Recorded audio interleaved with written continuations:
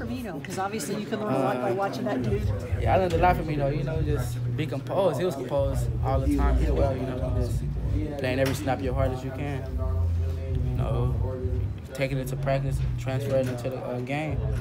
Know, just being able to just prepare mentally and physically, watching tons of film, being able to take that out to the game, and like everything, see, everything seemed easy to him. Like he's he, he's prepared.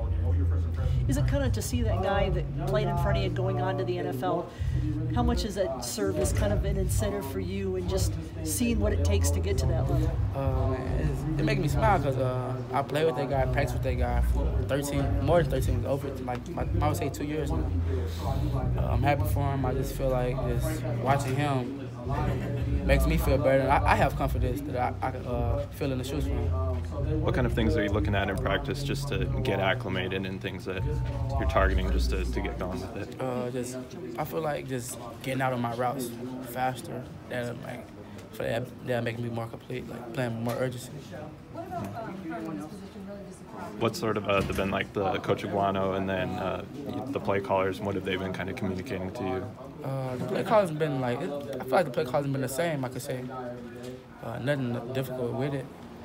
It's just being able to soak the play calls in and just put it out in the field. Mm-hmm. I know you've talked about it already, AJ, but if you just readdress what it's like for you to have this opportunity to uh, step up in Eno's place. Well, that's a big opportunity, man, because everybody looking at their running back position. I say, like, that's how I feel. Like I'm just ready to play. It's a big opportunity for me, like to show my talents. Like it's been 13 weeks now for me to uh, display what I can do.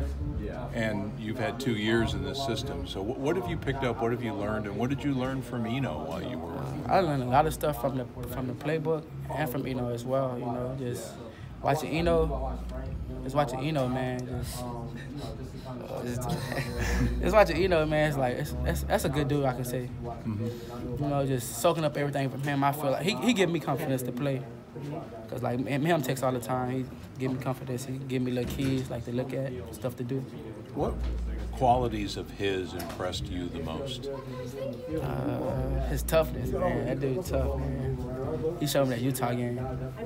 His toughness that Utah game. Mm-hmm. What in particular about that game? Their uh, defense and such. Oh yeah, their defense. Them dudes were hitting that game, man. Mm-hmm. For they was hitting, and uh, he never did back down. You know, it was what 20 something degrees out there that, that game. You know, he was he was hype. Mm-hmm. Only one hype out there. He was hype, ready to play. He brought the energy of that game to the entire offense. How about the way he runs with the football? Yeah, he run he run, he run violent. That's one thing I like about him. For him to be little like that, he run real violent. What's your thought about going up against a team like Florida State, a big name program that's kind of been down last couple of years? Yeah, so they have been down. I just feel like I just I have to come with it. The, the entire offense has to come in with it. But uh, you we Frank Darby to step up. I have to step up. In those shoes as well. You know, just everybody has to play a complete game. We have to win. Mm-hmm. AJ, uh, Greg Moore, Arizona Republic, to the Siege Man. What's it mean to you that Cohl is going to play in this game? That means a lot. You know, he have he have the experience. He's like he's a four-year starter. You know, he'll better give out all the calls as well, all the audibles, stuff like that. You know, he'll he'll have everybody on the offense ready. And we've seen the offensive line grow as a unit over the year. What's it mean to you to be able to run behind them at this point in the season? Uh, it feels good. I feel like it's a good time that I am able to run behind them because they all motor together. They know what to do. They know their assignments now. You know they've been they've been to their assignments, but I feel like they're more comfortable.